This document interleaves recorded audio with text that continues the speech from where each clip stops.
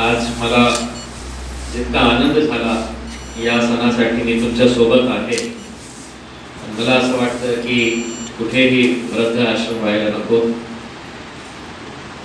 मुझे यहाँ पर आकर बहुत खुशी हो रही है कि थोड़ा सा वक्त ही क्यों ना सही, लेकिन आप लोगों के बीच में आकर दिवाली जो रोशनी का त्यौहार है, वो रोशनी का त्यौहार और जो खुशियों का त्यौहार है, वो खुशियों का त्यौहार आप लोगों के साथ मैं कुछ पल बिताऊं। मैं औरंगाबाद शहर का खासदार चुनकर आया, आप लोगों के आशीर्वाद की वजह से चुनकर आया। बस आप लोगों से यही प्रार्थना करना चाहूँगा कि आपकी अपनी प्रार्थनाओं में हमें भी याद रखिए और हम कोशिश करेंगे कि आपके लिए जो भी बेहतर हो सकता है, जो भी काम हमारे से मुमकिन हो सकता है, वो हम पूरा करेंगे। मैं आप लोगों को सिर्फ़ इतना कहना चाहूँगा कि मैं खासदार की हैसियत से नहीं आया हूँ यहाँ पर। बल्कि आपके बेटे की हैसियत से आया हूँ। मैं आपका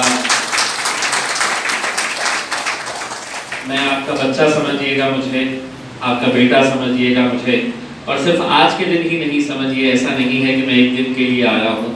मैं मेरा पत्ता यहाँ पर छोड़ कर जाऊँगा, मेरा टेलीफोन नंबर यहाँ पर छोड़ कर जाऊँगा।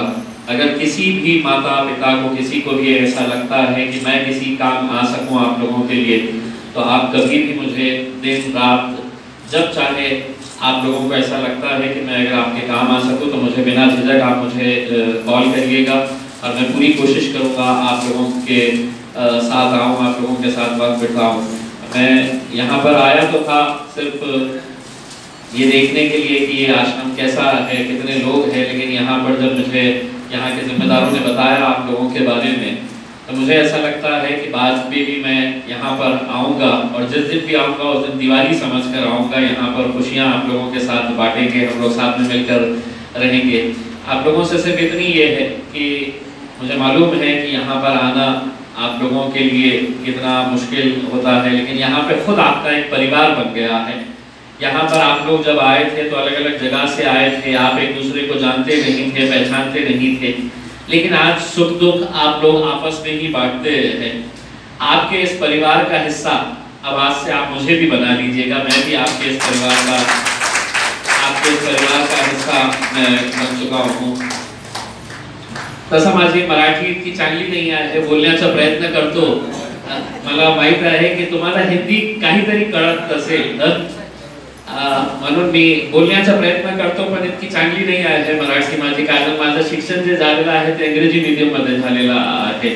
पण मी असंच मराठी बोलण्याचा प्रयत्न करतो. कोणी लोक मला बोलतात की तुम्ही किती बरोबर मराठी बोलत नाही पण मी तरीही बोलण्याचा प्रयत्न करतो.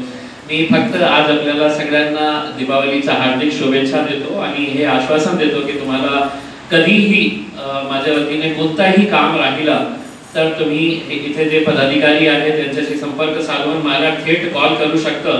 आणि तुम्ही बघेल की तुमचा मुलगा तुमच्यासाठी धावत येईल आणि तुमचं जे काम येईल ते मी करण्याचा प्रयत्न करेल. धन्यवाद. खूप खूप धन्यवाद. आपल्याला